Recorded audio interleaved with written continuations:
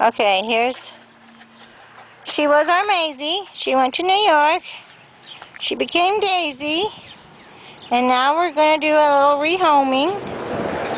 And she's just been very happy here. She's been here since... Well, I picked her up at the airport this morning a little bit after 10. And I've groomed her. She was super good to groom.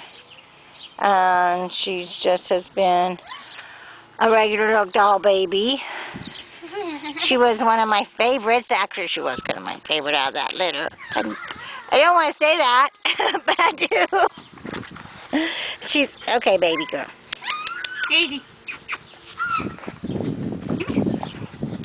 So, she's been spayed already, and she's housebroke, and she's just doing incredible. Yeah. Hi, sweetheart. Daisy.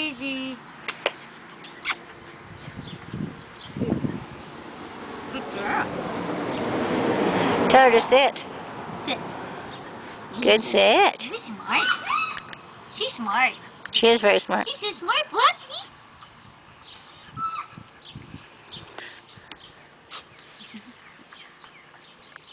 She's six and a half months old here. Oh, you're six and a half.